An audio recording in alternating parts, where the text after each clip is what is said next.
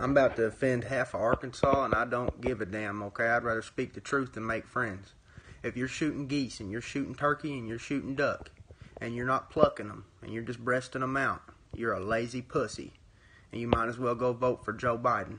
Okay, I don't want to hear how you don't have enough time to go pluck them.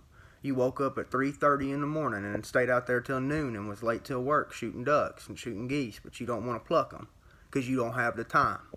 You ever take a half shit and halfway wipe your ass because you don't got the time? No, you do the whole thing.